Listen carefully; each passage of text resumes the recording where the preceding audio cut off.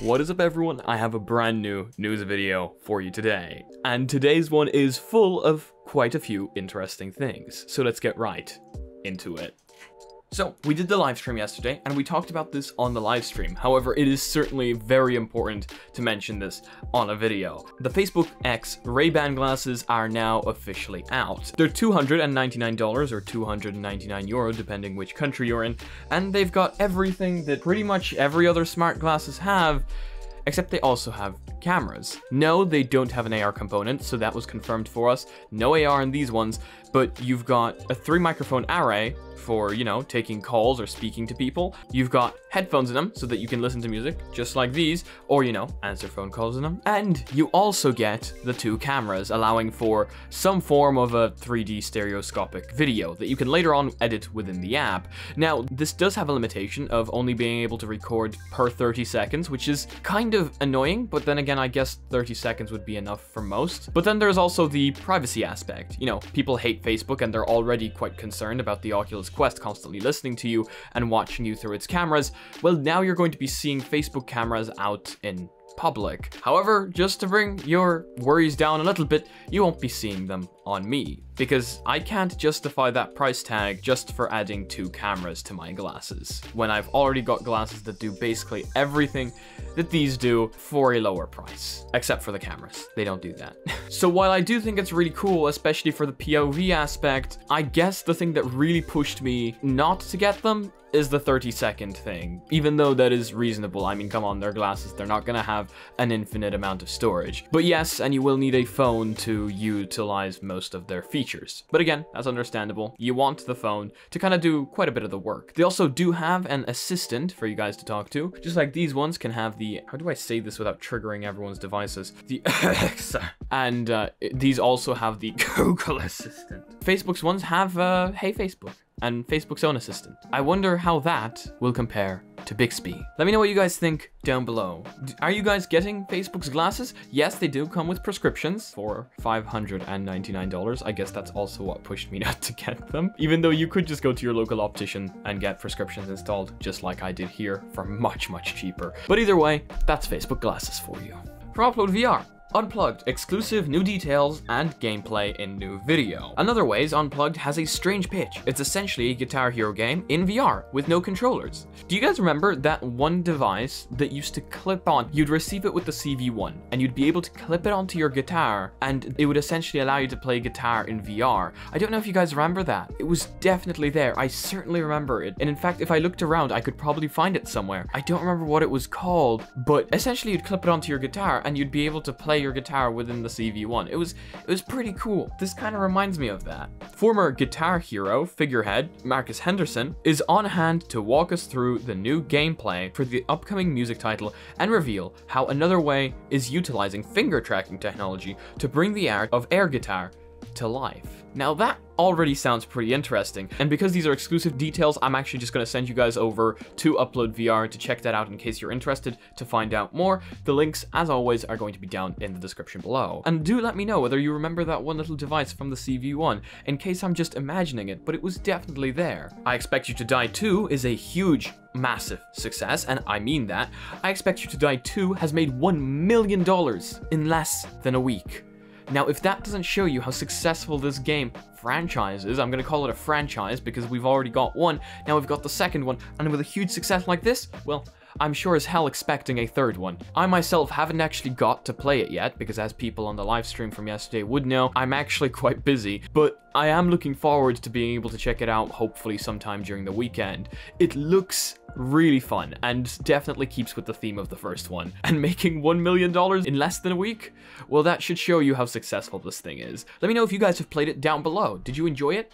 How fun was it? Just don't spoil anything for me, please. okay, this is one that was actually posted on our Discord quite a while back, and I feel really bad for not noticing this because I really should have. But my notifications are messed up on a whole new level. I don't know if anyone else has this, but I've heard it from a few people. My Twitter, YouTube, and Discord notifications, half of them I just don't receive. I think I receive so many of them that my phone just gives up at a certain point, and so does my PC. So I certainly apologize for not being able to see this because it is really cool, and I do want to bring people's attention to this. And I certainly apologize once again again because I'm going to mispronounce your name. Not on purpose, I'm very bad at pronunciations. So, user Lvanasek on Reddit has posted an image of 2D transparent Android apps. So Android has had the ability to display transparent apps for quite some time now. The thing is, it's just kind of useless, because why would you do that on a phone? Now, we do have transparent menus and things like that, where you can change the transparency to just kind of match your style. But imagine this in VR. So what Lvanasek has done is created a Quest AR launcher which is really cool. And the link for this will, of course, be down in the description below in case you guys want to check it out or download it because there is a GitHub link inside this Reddit thread. So let me read what they have written. Android has had support for transparent apps, but on mobile, it doesn't really make much sense. On Quest, it makes sense. With pass-through, it looks really cool. It cannot be captured.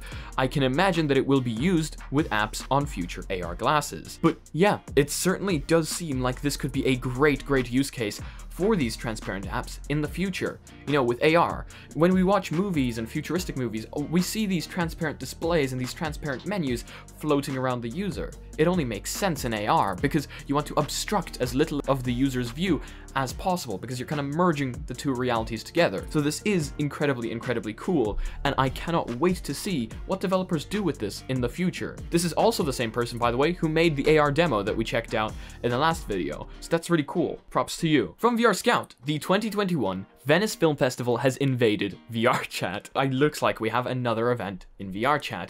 Just like we had Vket, we now have the Venice Film Festival. Explore 37 groundbreaking projects from 21 countries, 35 custom-made worlds, and 5 live events hosted in VRChat. Ooh, I definitely want to check this out. The Venice Film Festival is back with yet another selection of genre-defying VR projects from some of the most exciting creators in the field. This year, event organizers are taking its Venice VR expanded program to the next level, with even more immersive offerings than previous festivals. Open to attendance now until the 11th, attendees can explore a catalog of groundbreaking experiences in person at the VR gallery in the Palazzo del Casino, Lido de, di Venezia? Wow, uh, okay, my language is now broken. Sala Amici, reservations required. Wow, reservations required? Damn. It's almost like VR is becoming like VIP access now. Damn, that's cool. I might try force my mom to go there with me today. Thanks to a partnership with HTC's Viveport and Facebook's Oculus, attendees can also tune in remotely via PC VR or Oculus Quest headset and enjoy this year's selection in VR. By logging into the popular VR social platform, VRChat, festival goers can explore a custom-made virtual event space where they can immerse themselves in this year's offerings, chat with other visitors, and participate in a variety of live events. That sounds unbelievably cool. Again, I might try force my mom to go there with me today, or maybe we'll just do it later on. But we kind of have to try not to stay as long as we did last night because we did kind of weird stuff, broken stuff until 4 a.m. And then I was like, oh wow, it's 4 a.m. I need to wake up 8.30. Okay, bye. you just don't notice. VR just sucks you in and you don't notice. For anyone interested, the Matrix trailer is now released. For anybody that was on the live stream yesterday, you would have seen how cool and how like it sends shivers down your spine with the Matrix website. The website is uh the choice is yours dot what is the matrix.com and it's really cool. Essentially, it knows where you are and it kind of tunes the video towards you. It sent shivers down my spine first time I saw it because it told me my exact time. The trailer showed me my exact time. It's really cool. But yeah, the official trailer is out now for anyone interested. Matrix was a good movie. Uh, I definitely recommend it in case you guys haven't seen it yet. And a free roam VR game, Eye of the Temple, is coming next month. So from VR Scout, explore a jungle temple riddled with deadly traps and complex puzzles in a full-body VR experience inspired by classic adventure films. After an impressive five years of development, Danish independent developer Rune Skovbo, it's either Johansson or Johansson, I'm gonna go with Johansson, has announced the official release date for the highly anticipated free roam PC VR experience, Eye of the Temple. In this unique full body experience, you'll take the role of an Indiana Jones esque adventurer and explore an ancient mountaintop temple located deep within the jungle. So that sounds really cool. I've seen a few games pop up like this in the past, and we've had a few kind of escape the temple games. In fact, I believe there's even one in the Oculus Quest trailer. But it does look really cool, and after an impressive 5 years of development, I'm honestly excited to see what they've conjured up. So, this one certainly seems quite interesting, and if you guys are into those types of games, I would certainly recommend you check it out. And that is going to be it for today's video.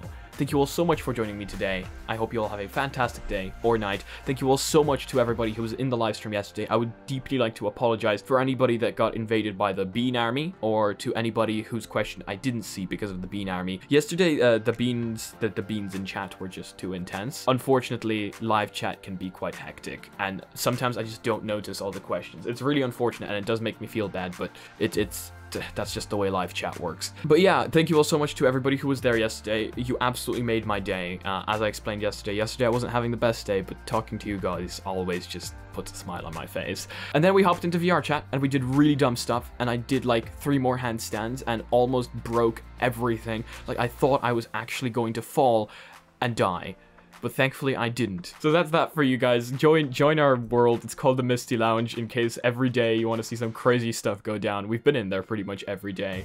Props to the slime trackers for holding up with my crazy shenanigans. But yeah, that is going to be it. If you guys liked the video, please leave a like. If you guys disliked it, I guess this button works too, but please tell me why down in the comment section below. If you guys are not yet part of our community, make sure to join our Discord down below, make sure to join our Reddit where I want to see you posting your spicy memes. And if you guys want to know what content coming up on channel, make sure to subscribe and with your my bell and see you next video. Peace.